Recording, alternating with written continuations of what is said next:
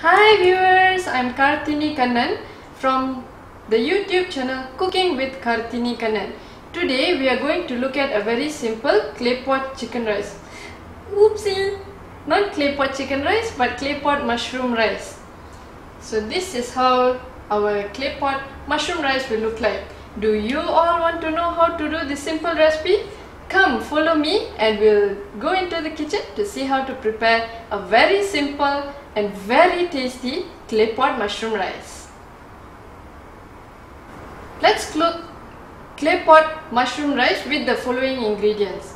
Here I have onion, garlic and ginger which I've already pounded into a paste. Some oyster sauce, garlic powder and pepper, it's vegetarian oyster sauce to replace the chicken in our clay pot mushroom rice, I'm using baby king oyster mushrooms. The bigger ones I've sliced like this to be sauteed for garnish. For a wonderful fragrance to the rice, I'm using some screw pine leaves or what is known as daun pandan and here I have some rice. Let's look at how we are going to cook clay pot mushroom rice today. So for the clay pot mushroom rice, I'm using some margarine.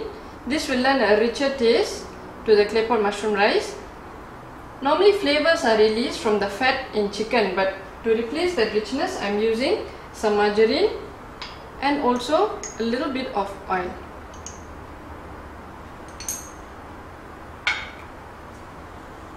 Let the margarine melt then we'll be adding in the ginger, garlic and onion paste.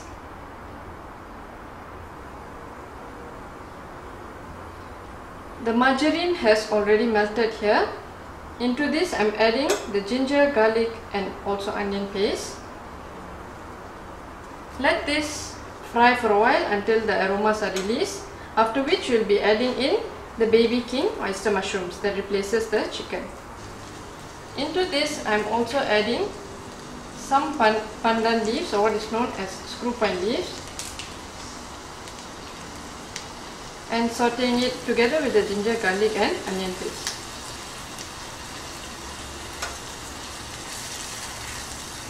This will release the aromas for the rice. The ginger, garlic and onion paste has been sauteing for a while. I'm adding in the baby king oyster mushrooms. This will also fry for a little while to release some of its moisture. Once it has released some of the moisture, I'll be adding in the vegetarian oyster sauce just now that has been mixed with garlic powder and also pepper.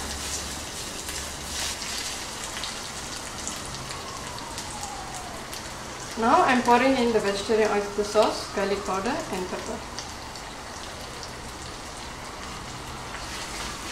This will add the savory tinge to the rice and at this moment also we will be adding in some salt and some sugar.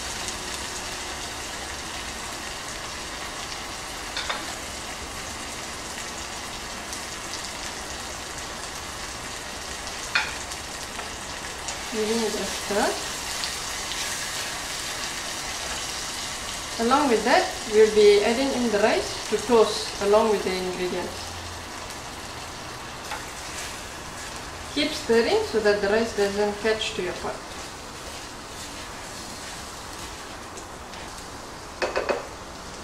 Now that the rice has toasted with the ingredients,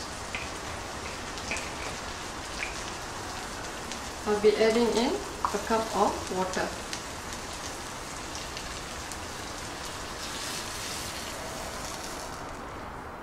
After we've added in the water, just give a stir so that all the ingredients are well incorporated and we will cover and let it cook until the rice is done.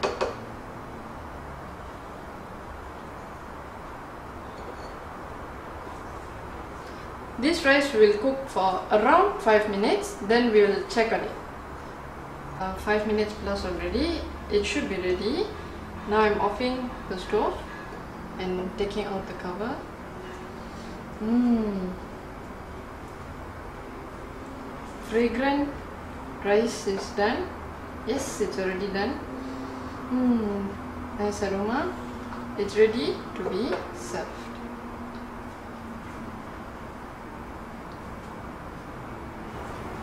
Mmm, yummy yummy. Mu clay pot mushroom rice is ready. I've served it with some cucumber slices, roasted mushroom and a very simple sambal. The sambal consists of fresh red chilies, garlic and ginger with a squeeze of lime juice. So there you have it, it's so easy to make a delicious clay pot mushroom rice where the mushrooms replace the chicken in this recipe. I do hope you try this recipe and I will see you in my following episodes.